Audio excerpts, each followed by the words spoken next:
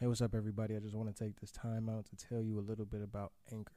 If you haven't heard about Anchor, it's the easiest, I repeat, easiest way to make a podcast for beginners. It's free. There's also tools that allow you to record and edit the podcast right from your phone, laptop, computer, whatever. It will also distribute your podcast for you so you can be heard on Apple Podcasts, Spotify, and many, many, many more. You can also make money from your podcast and you don't need any minimum listenership. I repeat, no minimum listenership. It's everything you need to make a podcast in one place. So download the free Anchor app or go to anchor.fm to get started. Order up.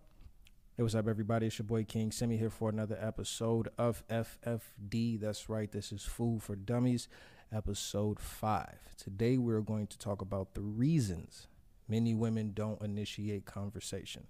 The reasons many women don't initiate conversation. Excuse me. Now, just to let you know beforehand, this comes from a man who has never had any problem getting or approaching a woman, period. I doubt I ever will. Sorry, I just have to put that out there. This message is only for equality and reciprocity for women because I've seen women get a lot of misinformation from other women and get a even worse information from males who aren't the men that they are seeking. So they'll use that information that they're getting from a man who isn't the man they want or the man that they value, and they will use that and then use it for the man they value and undervalue that man. This message is also to dispel some misconceptions and biases that some women have been giving or either created towards men themselves. So, this is how the show is going to go. I'm going to recite verbatim the reasons of several dozen women. I've asked this question to several dozen women. I'm then going to recite my responses to these to these reasons. And then after that I will end with a few theories that are rarely said or even admitted when it comes to this topic. So, let's jump right into it. I asked my ladies, what is one reason or what's the reason you don't, parentheses, won't approach a man and simply initiate the conversation? First response is fear of rejection, not knowing what to say to initiate the conversation.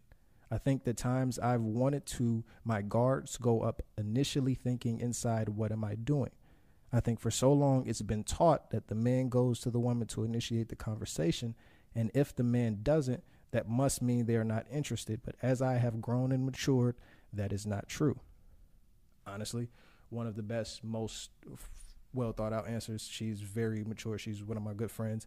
Uh, next response As a woman, I've been told I'm too aggressive, especially when I go after what I want. So I decided to scale it back and just wait. Now, I know her um, somewhat personally, and she is boss material. Like, if you if you envision a CEO woman, this would be it. So I told her I can see what she means, but as a woman with her stuff together, it is very intimidating to a lot of men. So you can't put yourself down or lower yourself in any way because some of the men that you have encountered don't appreciate it. Because the alpha male that you're looking for will appreciate it and he will make you even better. And then it's just one woman who messed up the whole continuity of this conversation. She said it's not ladylike. We gonna get into that later. I whole I, I just laughed and said, Wow, interesting, thank you. I don't even know what ladylike means. Like, you can't start a conversation. N- neither here nor there. Next response is fear of rejection. I'm either being too blunt or straightforward or coming on too strong. This is a legitimate reason, and we will get into this later uh, because it doesn't come up as you know one of the first reasons that women will give you as to why they don't. Um, next response is because I'm plus size and dark skinned. Now, as a man, I hate hearing this reason because that shows me that a lot of men have done her wrong because of how she looks and because either they liked her and, you know, trying to fake like whatever the case. We'll get into it later. But I, as a man, I just hate seeing that. Next, next response is a lot of women are saying fear of rejection, and that is spot on. I told the dude I liked him in eighth grade. He looked me in my face and said, "Ill." She then puts an uh, exclamation mark and says never again. We're definitely going to get into that one. Most definitely fear of rejection, fear of rejection, fear of rejection, not knowing what to say.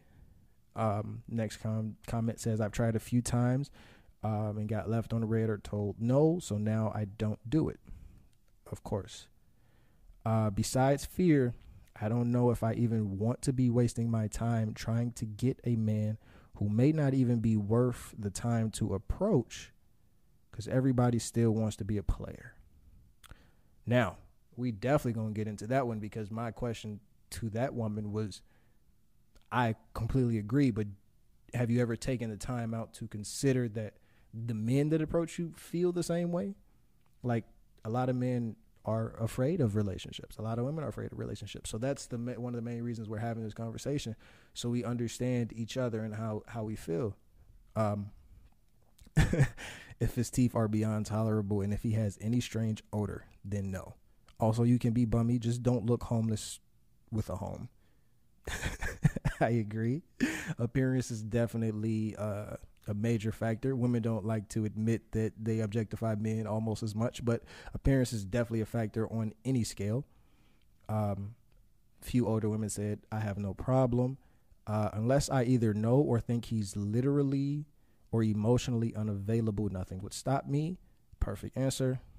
Uh, my friend said, I always approach. I don't like being approached just because you decided I was attractive. Mm. That's what a lot of young women don't want to hear. Just because you uh, thought I was attractive doesn't mean I have made the same decision about you. I'm aggressive, so why don't you? So why don't you smile? And can I buy you a drink? Lines are played. Makes sense. I will buy you a drink from the other end of the bar. I choose when you choose. You lose. That makes complete sense. Next response is because I don't want to seem desperate and because I tend to be shy. I have approached before, but the guy always just wants to get in my pants. Um, this I don't even need to wait till later. Ladies, if a man wants sex and that's the number one thing or the only thing he wants from you, it doesn't matter if you approach him, he approaches you, you get connected, you you go on a blind date, he's going to show you that's what he wants. So a lot of women believe that a man thinks you're desperate because you start a conversation, you need to deal with better men because those men are childish and immature. And like I said, you have these childish and immature men as your friends, but you know those friends would or could never be husband or boyfriend material. So stop subconsciously connecting the two. Uh, my friend said, I definitely shoot my shot and I don't care, but sometimes I don't go up to people because of their attitude, to be honest yes, uh, fellas, we need to check our faces. I'm not gonna lie to you. Um, that is definitely one of my downfalls. I used to have just the worst resting face ever. Um, and it just it wouldn't make me approachable regardless, you know. So that goes both ways actually, you know, because a lot of women feel like, oh, men only want this or that. Like, nah, you just don't seem approachable. You know, a lot of men who aren't necessarily always going to approach any woman he likes. He he picks and chooses. It's is definitely the percentage or the probability that he would even get a response that determines, you know, if he'll if he'll talk to you. Uh, next comment was rejection. I almost never shoot my shot. I might make way for a person to be intrigued by me. If they initiate conversation, perfect.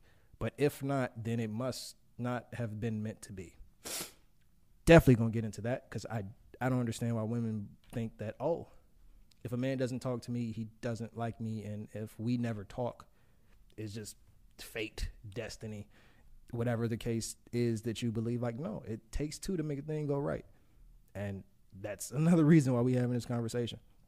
I'm used to a man coming to me to initiate the conversation. A lot of men are attracted to me. Sometimes I'll greet the man to get him to talk, but most of the time I want him to take the lead of the conversation because my nerves or shyness get in the way. I agreed and said initiation of a conversation isn't the domination of a conversation. All it takes for men is hello, hi, how you doing? Like it, it doesn't take a lot for men. Like as a man, it we have to be more we have to be more smooth when we approach women. I'm just gonna be honest with you. Men, we it, it doesn't take a lot. It does not take the same amount of effort. and just to simply initiate conversation and then see where it goes from there, you know, I definitely understand the shyness. Uh, you know, but a simple hey, hello, how it, it's very simple for men and a lot of women think that it has to be as clever, you know, as as men's pickup lines or whatever the case is, but it really doesn't. Um, sometimes they take our intention out of context. They think you are down for sex or something, but other than that, I will talk business in a heartbeat. You want to make money or no? That's interesting because as long as it's something you want, you're still going to go out and get it, right? If it's money, if it's business, you have no problem still initiating that conversation just based off the possibility of you getting return on investment. That's my biggest that, that's one of my biggest points. If you want something, you're going to go get it. Why is it only changed when it comes to a woman simply initiating a conversation with a man? We'll definitely get into that later. I'm a woman. I see what I like and I go get it. Uh, that that was one of the most liked comments. I see what I like and I go get it. I have no problem, no problem. Just have to point out these are more mature women uh, physically. Rejection, most of the time, they are just always full of themselves. Down to earth, good people are hard to find. I hate to be that guy that says that works both ways, but that's just life. Like it, it's just life. I've had only one man approach me out of the blue. Interesting. He liked my fro and told me to change the color to pink and proceeded to pat me on the back. I was in my bumwear at the store picking up cold medicine. My question is why are guys more interested in a woman when they are sick? False. Men just don't care. We don't care where. We don't care how. We don't care how you're dressed. We don't care what you're in. If a man likes you, he will, I won't say all the time, but if he wants you, he will approach you regardless, right? He will try regardless. And that's why a lot of men question does she really want me because of these responses? Because a man like it's it's not a male thing. It's not a male mindset to be like I want it, I'm going to go get it. Honestly, I've seen women have that mindset better than men, and these are the the owners of the company. These are the CEOs. These are the ones that's on the board. These are the ones that's making moves for women. You know, it it just is what it is. I won't approach if I think he has a person. Definitely a legitimate reason, ring, anything else. You know, if you're out with a girl and he looks same age, yeah, I definitely get that. That's real. I'm an awkward turtle. Turtle. That's definitely a reason. Um, male or female, if you're uh, a unique person, you know, a lot of times we feel like we won't get appreciated or understood so again, that's a, a very legitimate reason. My point in going through all these comments is the majority of the legitimate reasons come from women who are older.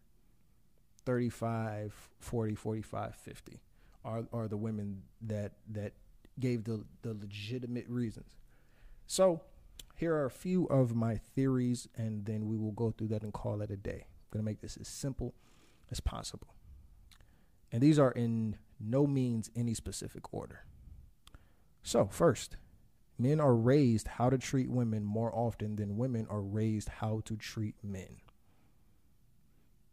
A man or a male is told as often as possible from either his mother, his father, if he has one in his life, older men in general, or the other women, the older women in his life. A man is taught this is what you say to a woman. This is what you don't say to a woman. This is what women like. This is what you shouldn't do. This is what happened to me. Don't be like that. A, a man hears that very often, and most men hear that. No, the the same amount of women do not hear that when they grow up. So they can only go from their experience, or a lot of times the bad experience that either their mother or their close uh, closest female representative tells them because of what they have gone through.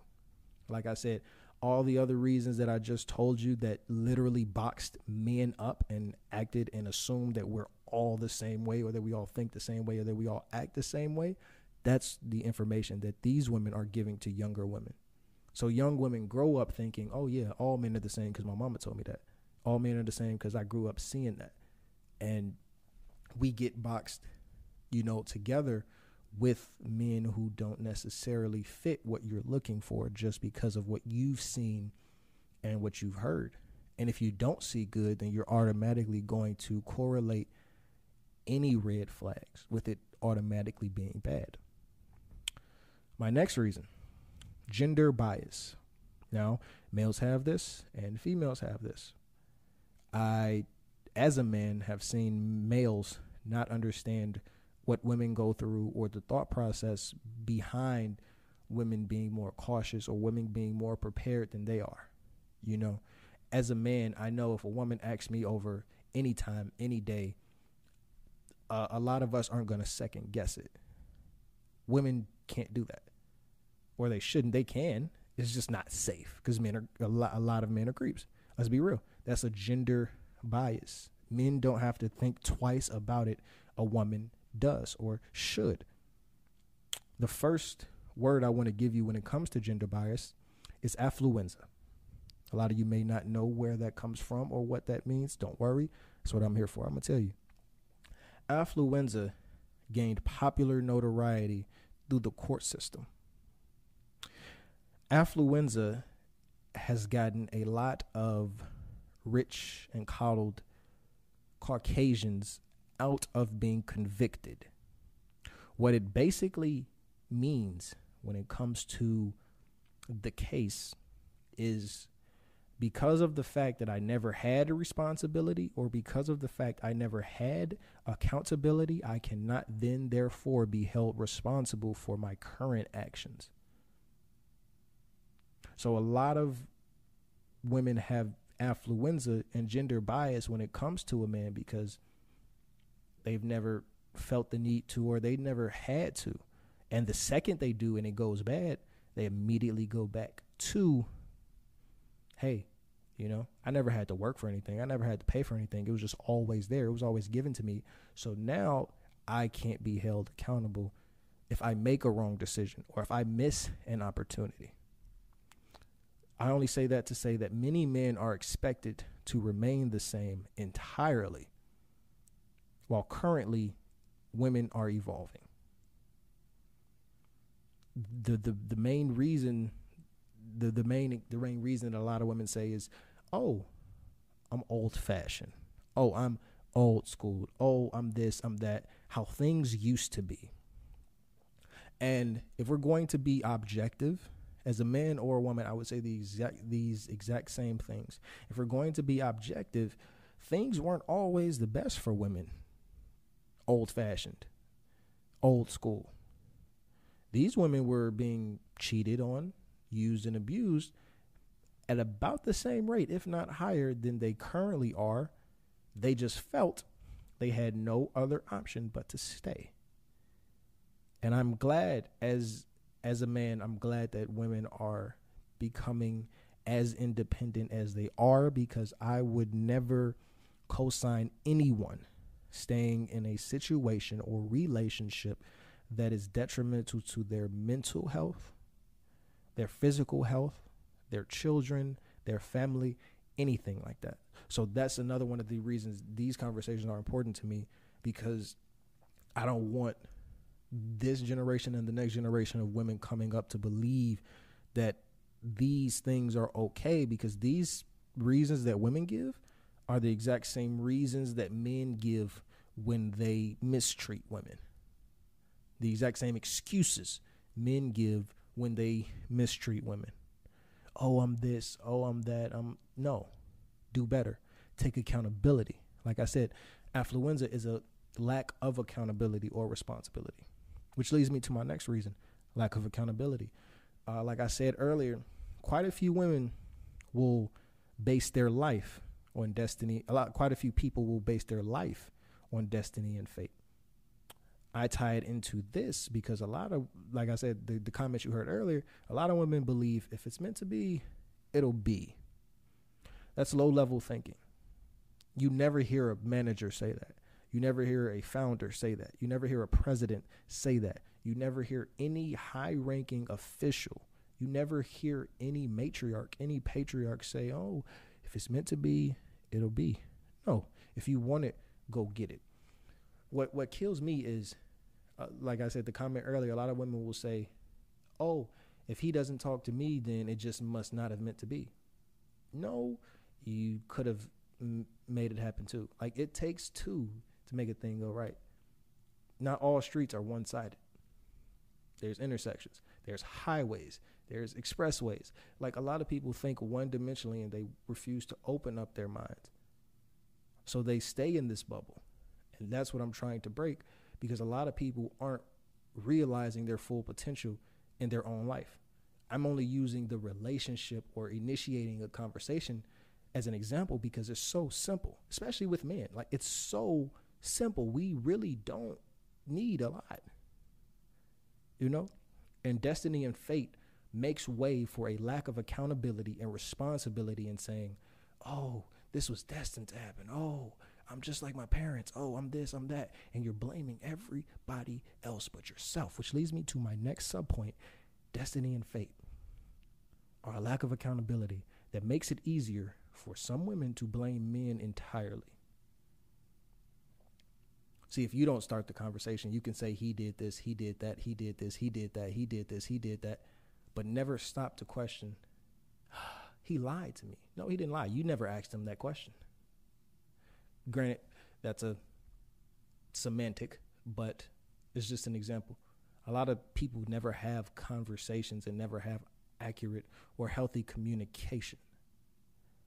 So they blame everything on the other person when in reality, at the end of the day, when you date someone, it's your responsibility to get to know that person, right?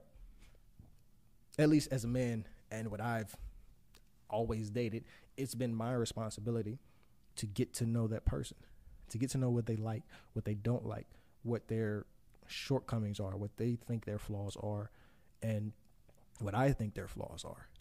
Because a lot of women have been told by so many men and so many people, you're doing this wrong, you're doing that wrong, you're doing this wrong. And it's not wrong. It just wasn't what that person wanted, or it was too good for that person. Like I said earlier, there's a lot of I hate I hate using alpha and beta, especially when it comes to females, because everyone's different. But there are a lot of alpha minded females who are just go get it.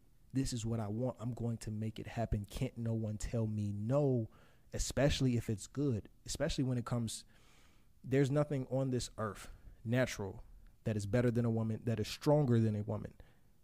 A single mother will make things happen, period.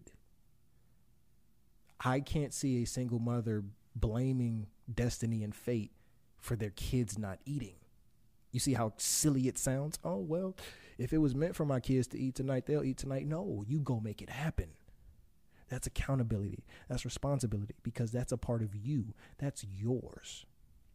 And if it's in your life, regardless of whatever level, it's yours. So it is your responsibility to have an input on how healthy that is.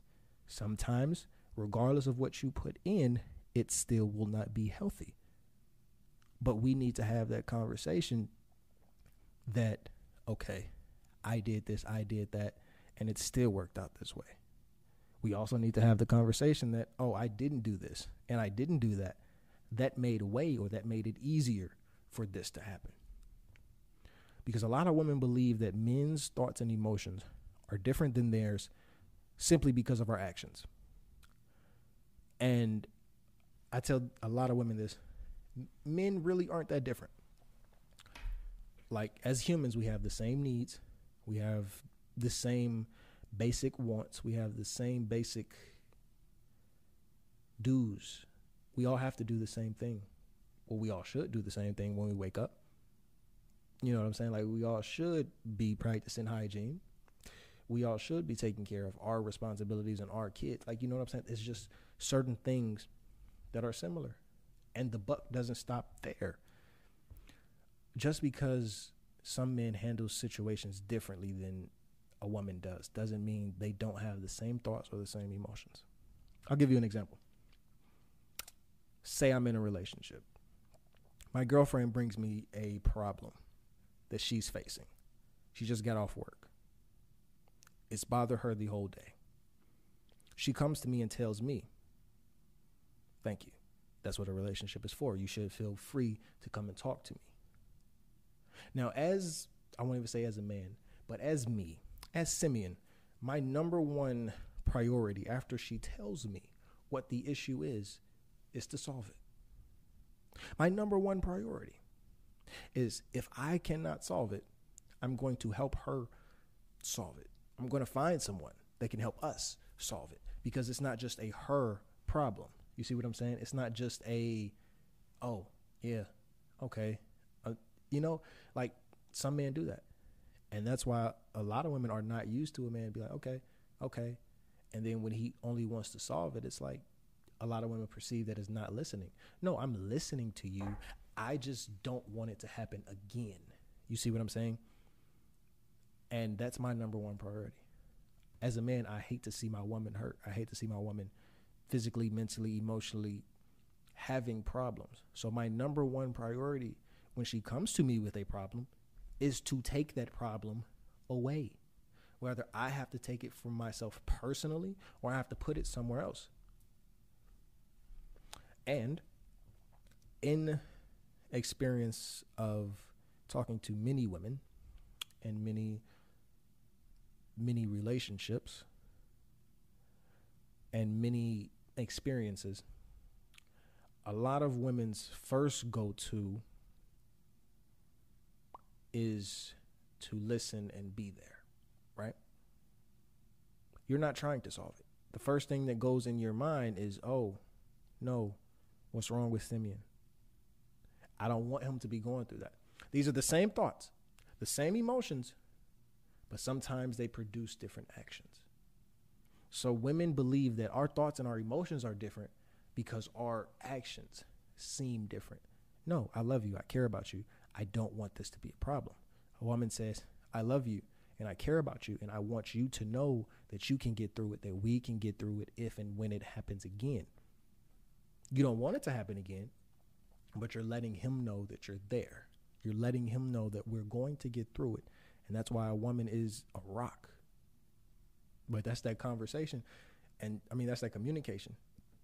And sometimes you might have to start that conversation.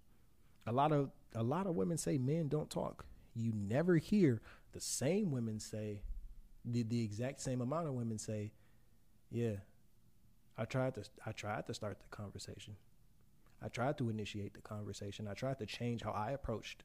You don't hear the same number of women. You'll hear a hundred women say men don't talk. I promise you, you won't hear a hundred women say, "Oh yeah, I changed how I approached him." I changed how I initiated the conversation. And that's what brings me back to men are raised how to deal with women, and a lot of women aren't raised how to deal with men because it's not the fact that you're saying a wrong thing, it's how you're saying it. It's are you saying it at the right time, you know? Because women have have impeccable memory so are you saying something that can set him back at a time where he needs you to put him forward? And then wonder why he shuts down because he told you something at a moment of weakness that he was before. And now he's in a new moment of weakness and you bring that same energy, you bring that same conversation back. And the same way we would act is the same way you would act if if you deal with a traumatic situation, which three or four out of five women do, whether that's sex trafficking, whether that's rape, whether that's molestation, whether that's even attempted, one of the above, you'd be surprised at to the statistics that women go through these things. And that's why I said earlier gender bias, men don't even understand what goes on, which is why we need conversations like this because a lot of women can't say it themselves so other men need to be like, hey, don't joke about that. Hey, man, you know, like we other men need to step up, right? Which leads me to my next point: personal insecurities. Women think that everything that's important to them is important to us. I'm not going to lie to you. It's not. A lot of men are going to love you the exact same way, whether you have your fingernails and toenails done or not, whether your edges are on fleek or not, whether you have piercings or not, whether you gain weight, lose weight or not. A lot of men are going to love you and treat you the same. The problem is the adolescence. The problem is the fact that a lot of women suffer rejection as an adolescent or preteen more often, and then a teen, and they never let that go. So you're judging a man who was already immature and childish, and his age showed that and followed that. And a lot of women take that and keep that because they're afraid of that ever happening again. So they don't give that opportunity to a man to let him, hey, I don't look at you like that. That's not what I think of you. I don't care what anybody else thinks of you. Here's my biggest problem as a man women say it doesn't matter that other people point out their insecurities. People say it, they, they don't care or it doesn't matter that other people point out their insecurities but they'll hold on to a negative word much more stronger and longer than a positive word. And that is why a lot of women have to start these type of conversations with other women and themselves. Because you blame the men for your insecurities. Whether it's current, whether it's in the future, your present is rooted in your past. So anytime you have a recollection, anytime you have a subconscious memory, you don't you don't try to have it. Here's the thing, a lot of men think women want to be insecure. They don't. They can't help it. There's three different ways of thinking. There is the conscious, there is the subconscious, and there is the preconscious. You can't control your thoughts, but you can control your actions. And that is the accountability and the responsibility that I'm talking about one of the top five reasons that a woman will never initiate a conversation with a man is because of their insecurities. So my question to those same women are, can you be fully loved by a man if you can't even initiate a conversation? Because of your insecurities. Can you let go of your insecurities when I'm telling you that I don't care about that? When I'm telling you I love you regardless of what you believe your insecurities are. Because you heard another woman tell you that or because you were in a relationship with another man and that man didn't love you right but you loved him and you think that's the end all be all and you're still holding on to that time and bringing that time that that tree of insecurity and rooting it in the present. Your present is is is rooted by the memories of your past. So if your past only bared bad fruit what more do you expect to come from a relationship of any sort, familial, romantic, whatever the case is, regardless of who initiates it, if you're still planting bad fruit? So make sure your present isn't rooted in your past. Because I'm just gonna be honest with you. I as a as as a dating man, anytime I start dating, I tell a woman, You're beautiful you know, we're dating, so of course I'm going to think she's beautiful. But how you dress when we go on dates is not as important to me as how you dress when you're comfortable. Because as a man who's dating for marriage, I'm not going to see you like that every day. I don't need to. But what I am going to see you every single day is when you wake up, when you brush your teeth. That's the energy I need to see. I need to see the the the the maintained energy. Because happy is an extreme sadness is an extreme. And they don't happen all the time. They don't need to happen all the time. Because we wouldn't appreciate them or value them if they did. I need to know how you are when you're happy. I need to know how you are when you're sad. That's the insecurities.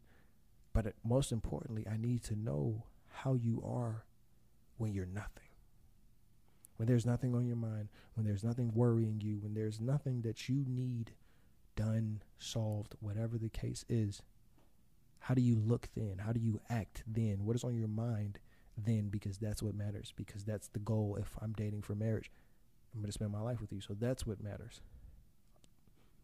This this conversation is because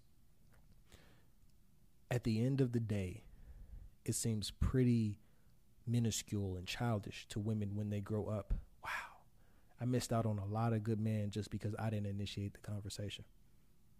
And what kills me is we live in a social media age. So I'm going to just give you my life.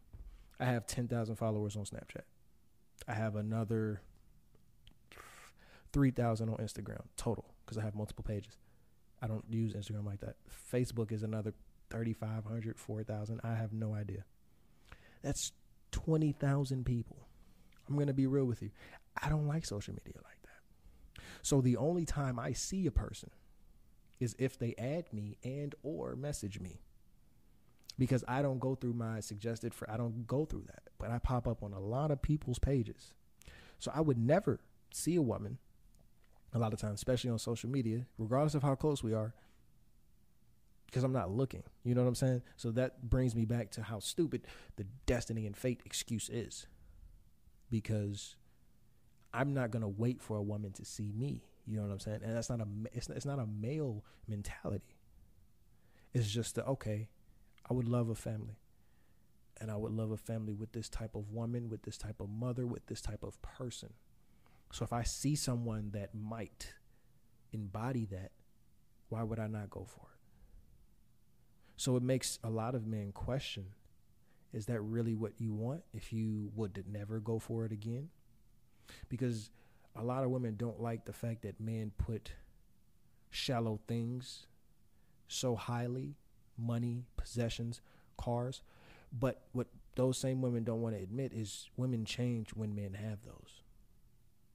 See, the same women who gave me the reasons they wouldn't approach a normal person, all of that will go out the window if their favorite celebrity was in their vicinity.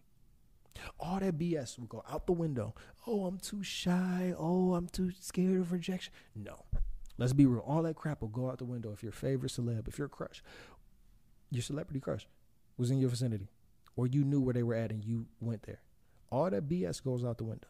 So that's why I'm having this conversation because it's like let's be honest with ourselves. It has to be more. So that's why these are only theories, and these are only a few. I stopped at like eight. I have eight like real bullet points, and I stopped because I didn't want this to go on for an hour.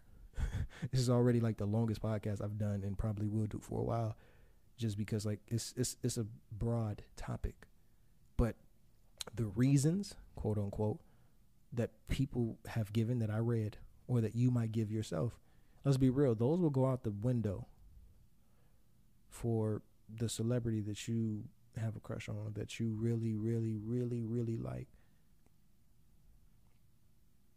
You know, I, I can name a few. Uh, Michael B. Jordan, mm, Chris Brown, mm, Idris Elba, uh, Ryan Reynolds. He's this good looking dude. You know, like I can go on and on.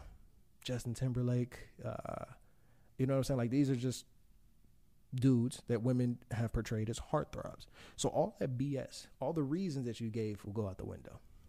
But you don't realize that women run the world. So if you took more initiative, men would then take more initiative to be better. Men don't care how they act because at the end of the day, they know there's a huge portion of women that will accept the bare minimum. And all you're looking for is if he approached you. And what you don't want to, uh, what a lot of women don't want to admit is the the dudes that they approached when I was talking about the adolescent and the preteen stage, those were the men that they did not think or they, they knew a long term relationship wouldn't work out. A marriage would definitely not work out. Women don't want to have that honest con- a lot of women don't want to have that honest conversation of you know what the dudes that i did approach or the dudes that were approaching me at this age and that i accepted i knew they weren't you know what i'm saying i knew they weren't nothing i knew it wasn't going to work out i knew you know whatever the case was i was just doing it for fun i was just doing this i was just doing whatever the case was and now when it comes to a time to where you see a man on his business. You see a man that is that is high potential, that is just high value in terms of what you want because all women want different things. You know what I'm saying? No no two women are the same. You know? Not to say that women are complicated or difficult individuals, but just as people we want different things. We might have the same thought process. Like I said, men and women have the same thought process, but we want different things and how we go about getting them shouldn't always be different. You know? And uh one of my last points lack of empathy towards men. I'll explain. I said earlier that I don't like using the term alpha or beta simply because even though I would be neither, um, I would actually be an omega. A lot of men don't fit into the black and white category. And this is me speaking up for them. So while I have no problem articulating myself and having a conversation on a podcast, on social media, being myself, regardless of where I'm at and who sees me, there are a good portion of men that do. And the reason I say lack of empathy towards men is because the the reasons, every single reason that I gave you works just the same for a man, if not worse.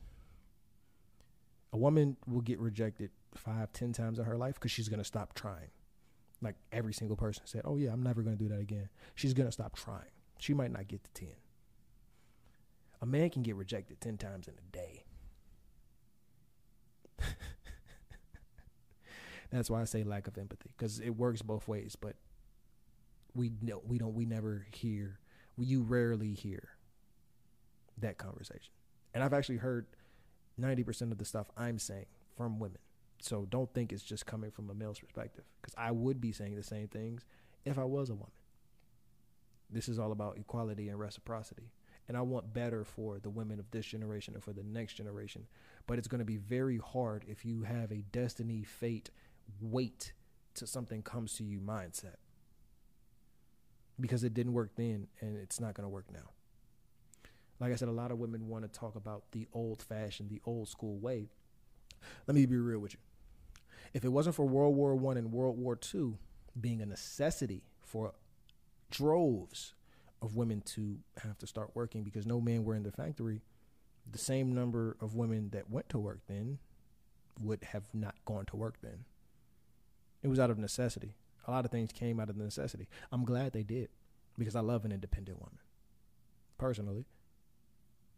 And a lot of women think that there aren't men that do, but there are. Just because of the sheer number of men who know how easy it is to manipulate you because you're holding on to these values. You're holding on to this false independence, which is my last reason. And the reason I say it's false is because you're the reasons I just gave you, women admitted to abiding by gender roles that were created and assigned by a patriarchy that was meant to keep women docile.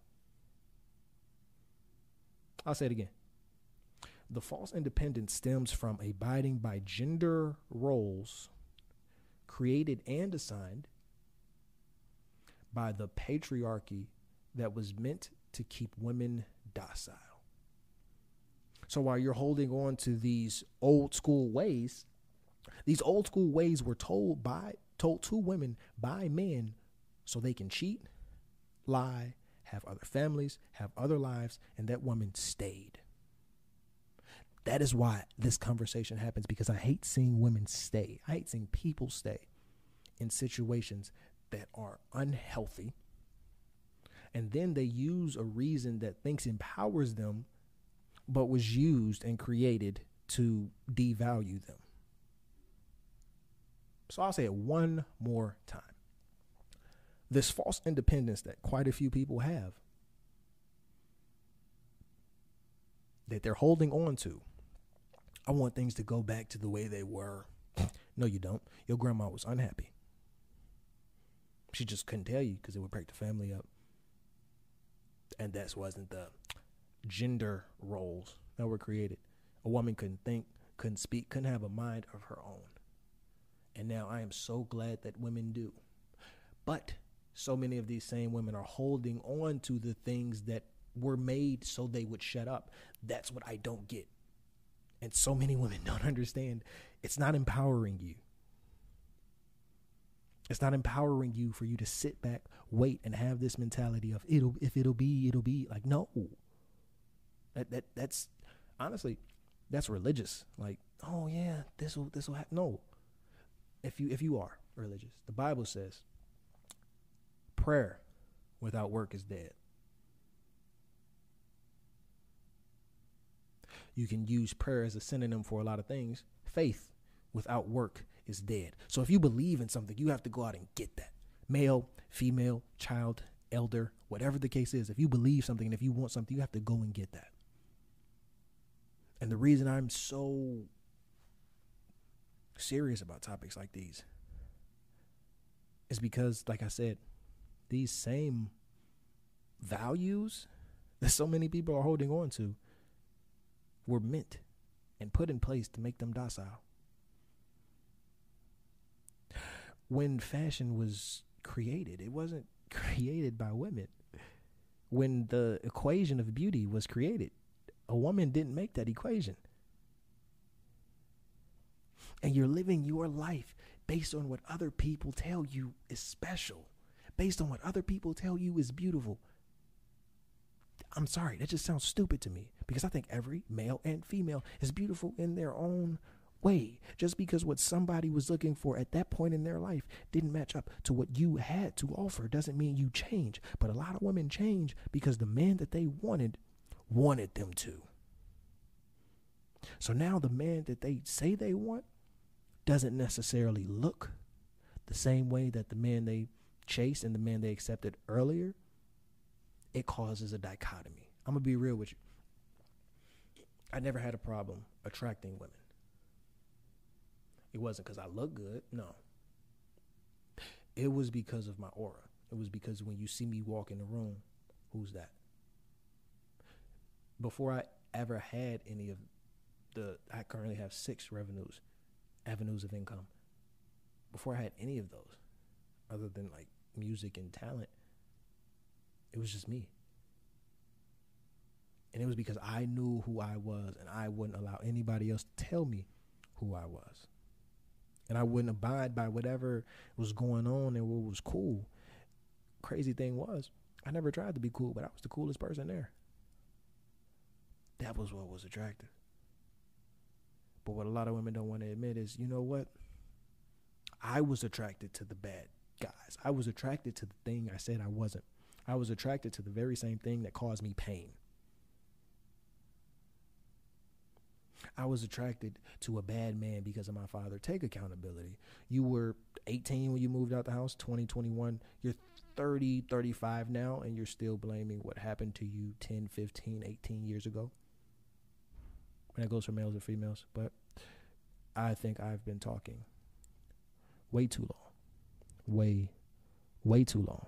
Yep, we're at 48 minutes. so I'm going to end this podcast. This is King Simi. This has been another episode of Food for Dummies. This is FFD05.